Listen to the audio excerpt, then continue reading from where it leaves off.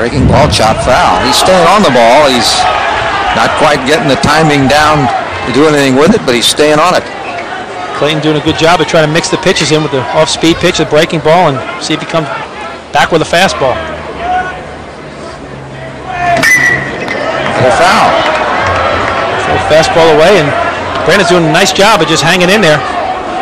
It often comes up during the course of the Major League season, the record for foul balls, most pitches seen, and I, I just happened to look that up the other day as we're seeing a series of foul balls.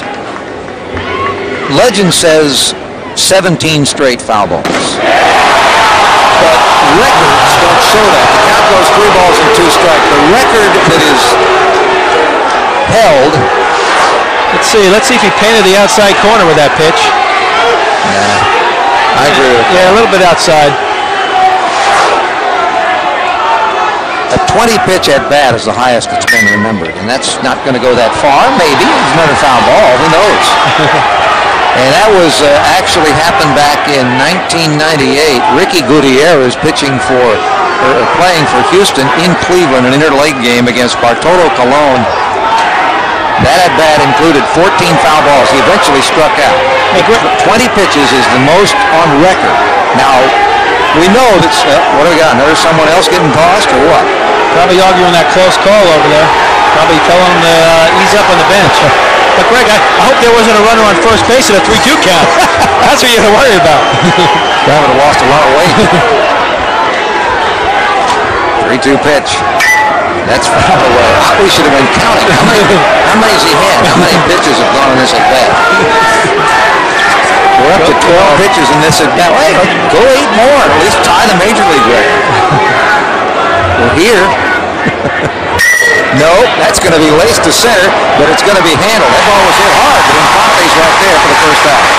He got some good hacks in that at bat. We're at uh, Olsen Field at Texas A&M. Greg Lucas here along with Jack Lazorko. College baseball from the Big 12. A 4-4 game to the 10th inning with one out between Nebraska, ranked 10th in the highest ranking of the four polls, and Texas A&M. Nebraska 7 and 3 in the league. There's a breaking ball that does not stay off of, and it's a strike. Curtis Ledbetter Huge power, got a double his last time up, his only hit of the game. Hit two home runs last night. Nice mixture.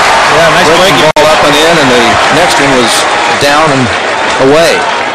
Now Curtis is wondering where's he going to come? Is he going to come with that breaking ball away or try to get me, bust me in with a fastball in? Tried to go in, ball's ripped to right field, coming over for it is Baldwin near the track, makes the catch, two down. He got away with that one, you're right. He wanted to pitch away, but that thing tailed back in and luckily had enough on it where Ledbetter didn't get the meat of the bat on the ball. You saw that shot of Baldwin, the, the sun glistening in the glasses. That is a real tough sun field right now, right field. As the sun sinks in the late afternoon, it is right in line with some of the balls hit out there. Now, Daniel Bruce. You think they'll rename Bruce in the dugout? You know how guys kid around the, the triple play man? EP. He's playing right field. well, that happened in the fifth inning, and it could have been a big inning for the uh, Cornhuskers because the first two men had reached base, obviously.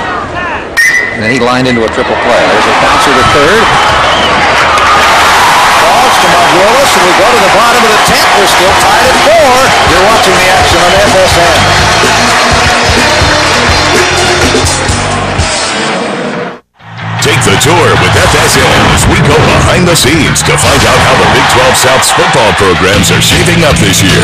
FSN's Big 12 Spring Tour kicks off at UT today at 5.30, only on FSN.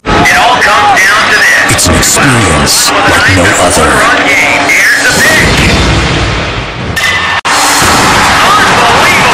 Oklahoma versus Texas, tonight at 6 on FSN South. Now's the time to get connected. It's game day, baby. Because when you get HBO and Cinemax from DirecTV, you'll be connected to the original series that get people talking. Major Hollywood movies. What took you so long? And a year packed with $3 billion worth of box office hits. And you'll get it all with 10 channels of HBO and Cinemax to choose from. Order HBO and Cinemax online now at DirecTV.com or call 1-800-DirecTV. HBO and Cinemax. Get connected. All the baseball you want and then some. MLB Extra Innings from DirecTV. More of your favorite players. More of your favorite teams.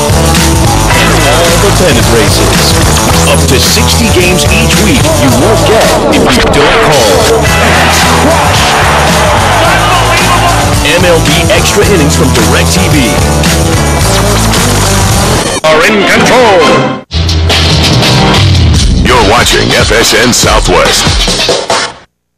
Aggie fans whooping and a hollering between innings as we go to the bottom of the 10th. It'll be Boggs, Pauk, and Margolis. And the first pitch is chopped foul by Austin Boggs. 0 for 4. Four runs, 11 hits, two errors for Nebraska. Four runs, nine hits, one error for Texas A&M. To see, you know, you bring Jensen in, the closer, to get one inning, but now you got to go an extra innings. How long, how long do you keep him in there? Last week, like we said earlier, he went four innings against Texas. We'll see how long he stays this time out. And one pitch. That's fouled back. One ball and two strikes. The errors in the game have not factored into scoring. All the runs are in. Zach Kroenke went 95 pitches, five and a third innings for Nebraska, giving up three runs all in one inning in the third. Three pitchers. Chopper out to Simokaitis. Quick release. One out. Nice play by Joe coming in, making a nice play and off balance throw to first base right on the target. And that's always the thing when you're on the road. You know, if you don't score, your closer got to go out another couple innings if he's going to stay out there to get the uh, get the win. Pauk has a single, a stolen base, a walk, a single, and a fly out to left in his appearances in the game. He takes the first pitch for a ball.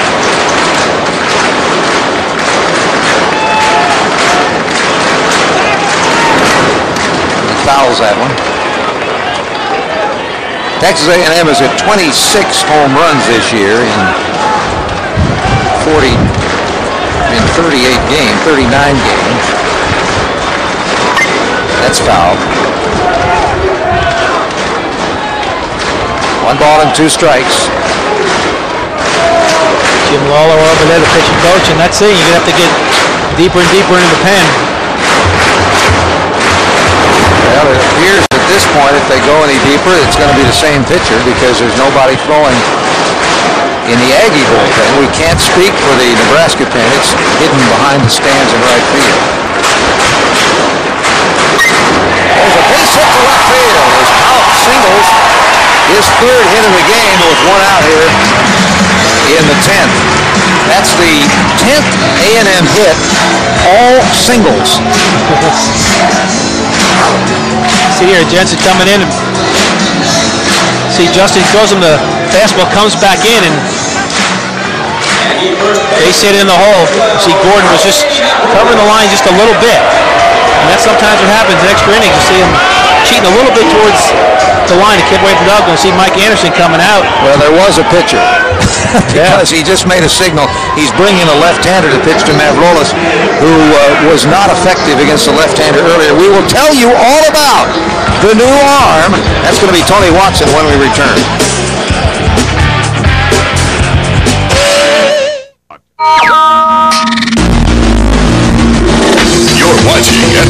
Southwest, the only sports network that puts Southwest fans first. The Southwest Sports Report. You're passionate about sports. A complete nightly newscast. We'll take you behind the scenes for exclusive interviews and in-depth stories. You've come to the right place. The Southwest Sports Report, nightly at 10. Southwest fans know first. FSN Southwest.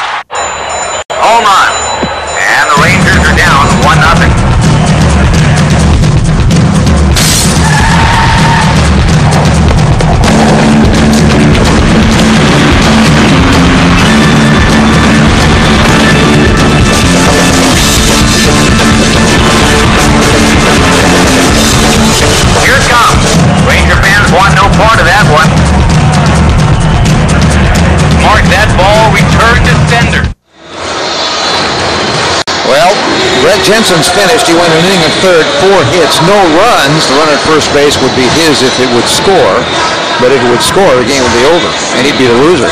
Tony Watson is the new pitcher. This will be his 11th appearance. You keep seeing these Nebraska pitchers come in, and these numbers so great. The only thing that's a little bit less great with his, he does walk a few more, but there's not a single pitcher, a not a single pitcher on the Nebraska roster with an earned run average higher than 3.6. That's 3.6. That- That's amazing. I mean, that shows you how deep this staff is, and he's bringing the lefty to face the lefty. He, he didn't want Jensen to go too long. Have him ready for tomorrow. And first pitch is a strike called. Mavrola struck out twice against this left-handed starter, Kroenke. Then he sacrificed a third time. Facing a right-hander, Jensen, he popped out. Mavrolas was also the man responsible for the one Aggie run last night with a home run. One ball and one strike. Watson, six foot four, 195 out of Grimes, Iowa, freshman.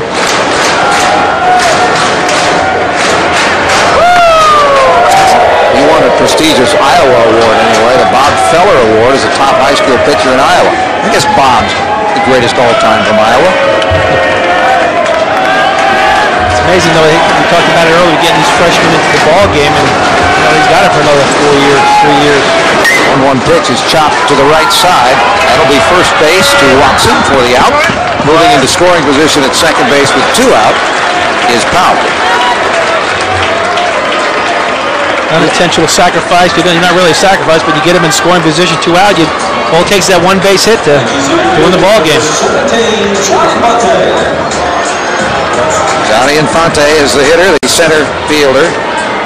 He had a base hit his last time. In fact, he scored the tying run in the ninth, and now What maybe he's going to make another change. Yeah, just bring the lefty on the lefty. He did his job, got the lefty out, and like we said, we get, they got a deep bullpen and go out and bring the righty in.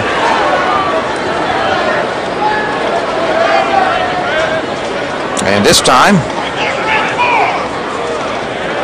it's going to be number 25, and that is Ryan Bohannon. We shall tell you about him after we take a quick break.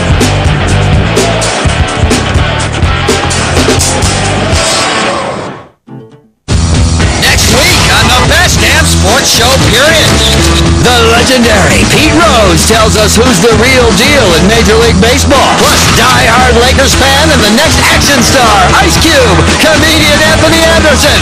Plus, we continue our NFL Rookie Challenge with USC defensive end Shaun Cody, Maryland's Shawne Merriman, West Virginia's shutdown corner Adam Pac-Man Jones, and Florida State quarterback Adrian McPherson. Next week at 10:30.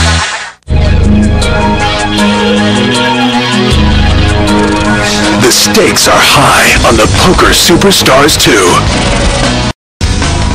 Now the weekly tournament heats up as the world's best players go all in. For their piece of a purse worth over $1.2 million. The game's biggest stars at one table at one time. And the only place you can see it is FSN. The Poker Superstars 2. Tournament continues Sunday. We're still tied at four. We're in the bottom of the tenth, and we're going into the third pitcher in this half inning as Ryan Bohannon, the right-handed freshman, is in. And he's only at 0.79. Yeah, and you see that 11 strikeouts, three walks, obviously only 11 innings pitched. 11 and a third, another young player coming in on the roster, another freshman coming in. And you see these freshmen getting a lot of work in these conference games early in their career. You see the program that Mike Anderson is building here. These kids get an opportunity to play conference play right, right from the get-go. Out of Goddard, Kansas. And Infante will get a look at him with the winning run at second base. Two outs in the tenth. Bohannon's first pitch is a strike. In a, in a situation like this, these hitters haven't seen a lot of these freshmen. This is the first time they're seeing them. Pitcher has an advantage sometimes. They don't know what he's throwing.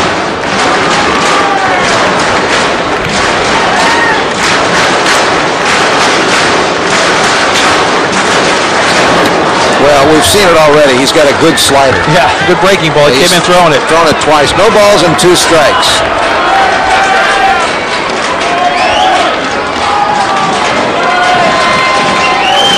He doesn't have a slider with great speed on it, so to the hitter it looks like a mediocre fastball until they start to swing and it slides. There's just a fastball out and away. One ball and two strikes. And that was a show him fastball. You see Christie looking into the dugout.